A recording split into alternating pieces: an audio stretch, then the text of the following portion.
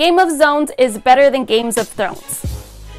When the Malamut brothers created the NBA parody, they had no clue it would change their lives forever. Game of Zones has a unique origin story. Adam Malamut is a self-taught animator, and his brother Craig was an astrophysicist. Together, they started an animated series called Sports Friends. Then they saw Game of Thrones and they thought, what if we did an NFL parody? That's right, their original pitch to Bleacher Report was an NFL series. But BR asked if they can come up with something for the NBA. Thus, Game of Zones was born.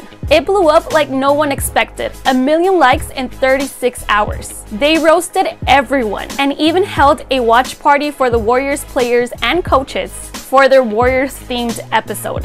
NBA fans just couldn't get enough and BR asked them to come on board full time. Seven seasons later and they finished one of the most innovative shows ever created on the internet.